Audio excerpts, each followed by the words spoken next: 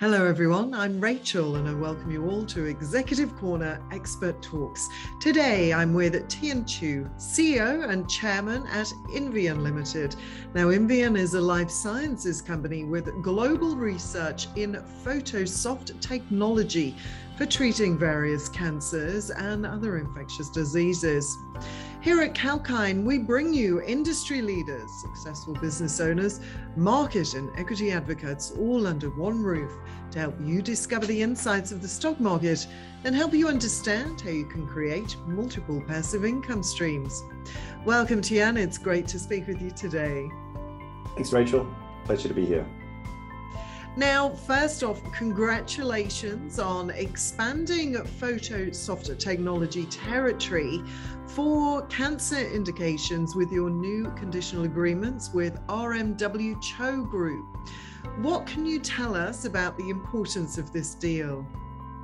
Yeah, so so Rachel, it's uh, it's it's important for us because uh, historically, Invion has had a territory which is uh, for cancer has been limited to Australia and New Zealand which, as you know, is about 30 million uh, people in terms of our market uh, size. Now, what we have with the new um, uh, conditional agreement is the capacity to increase that to an addressable market of over 2 billion people.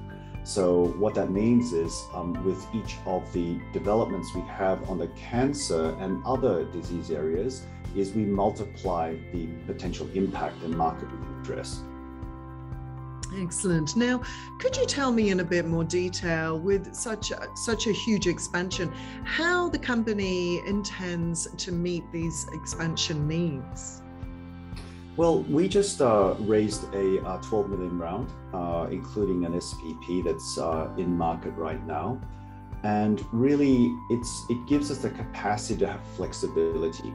Now, we're not changing our original uh, development program, particularly in cancer, which, which actually in Australia and New Zealand is, is fully funded by um, RMW Cho Group. And so we kind of write off the, uh, uh, the tails of that. What this new capital does is it gives us flexibility to continue some of that work outside Australia and New Zealand in our new territories and, and build upon the work that we're already doing in, uh, in, this, in Australia and New Zealand. Now, Invion has set some ambitious goals, especially for its PhotoSoft technology. What can you tell me about the future plans? Yes, it's a really interesting time for us now. We just, uh, as we, as you know, we announced uh, some uh, pilot uh, proof of concept studies, uh, showing some some interesting aspects to um, our technology. Uh, we tested on mice with triple negative breast cancer, and when we treated them with PhotoSoft technology, we actually found that the tumor went away and there was no scarring.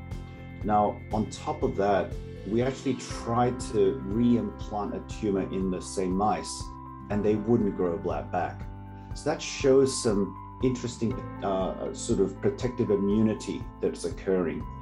So what that means is that um, we've demonstrated in one um, solid tumor model that actually there's some some, some interesting things happening with um, with not just ablation of a tumor, but actually the protective ongoing immunity.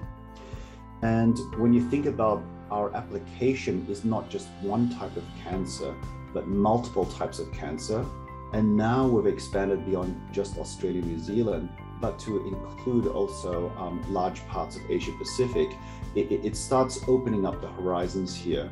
And, and that's really where we're going to be taking it um, going forward.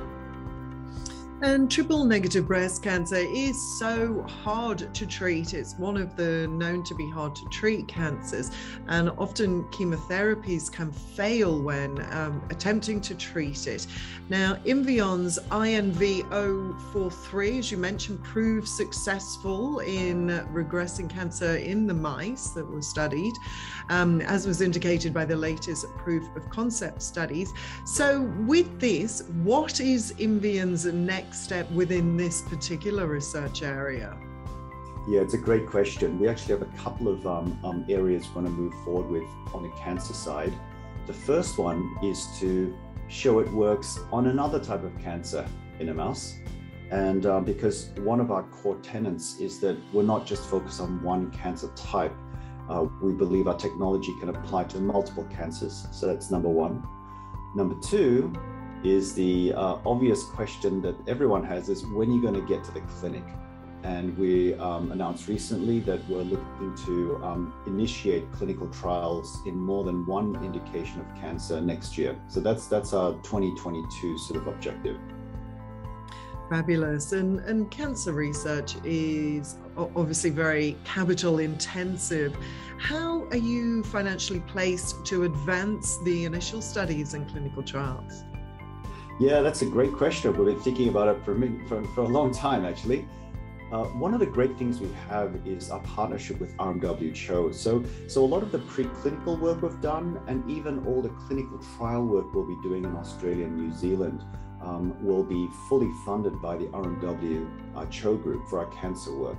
So that really de-risks a lot of the effort for us, gives us a lot of great data and great progress. Now, once we've de-risked it, we can actually take it to the next level, which is essentially uh, using the funds we have to do further trials in other countries within our territory.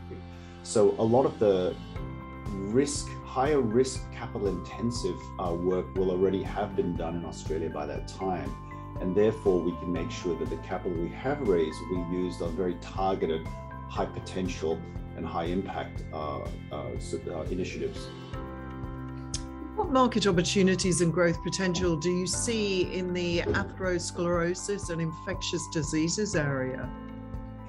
Yeah, that's actually where there's a there's potentially even a, a larger prize. Um, you know, atherosclerosis is one of the key um, uh, uh, tenets of uh, heart disease, which kills two to three times as many people in uh, in the world and cancer itself.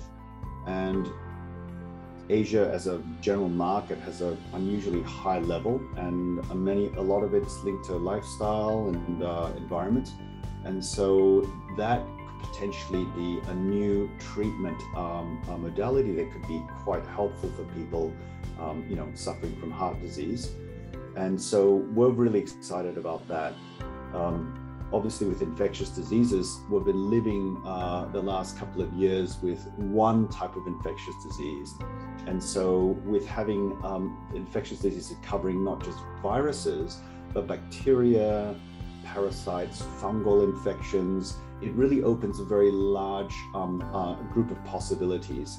Now, we're in a much earlier stage of discovery in these stages. So, so the next you know, period of time, we're really going to be uh, looking at uh, where this could be um, initial proof of concept, initial sort of in vitro tests that don't take a lot of time and effort, but let us uh, do a large portfolio of testing to see where ultimately we want to focus our attention um, to the next stage. So it's, it's, it's a little bit of um, uh, a large portfolio that will narrow down to those that we think have high potential. Absolutely. You obviously have multiple pathways and to develop technology for a range of cancers and other diseases. So, where do you see yourself in the next 12 months? Okay, so 12 months' time, this time next year, um, what we're looking to achieve is firstly on the cancer side, we want to be in the clinic. We want to have at least initiated um, more than one clinical trial. And that should be really exciting for us because that's when the rubber hits the road. We'll, we'll, we'll really see where that technology can take us. And then number two, we hope that this time next year we'll have you know a, a small number of targets um, where we've done that initial testing on both the atherosclerosis as well as the infectious diseases side and potentially have some really interesting uh, uh, uh, targets that we can we continue to develop in, in future years, which then gives us kind of a nearer term as well as a longer term portfolio of um, uh, potential uses and, and, and opportunities. Well, best of luck over the next few months, Thian, and thank you so much for your time. Thanks, Rachel. Appreciate it. Thank you. And with that, I will sign off for today, but watch this space for more. Till then, stay apprised and invest wise with Kalkine.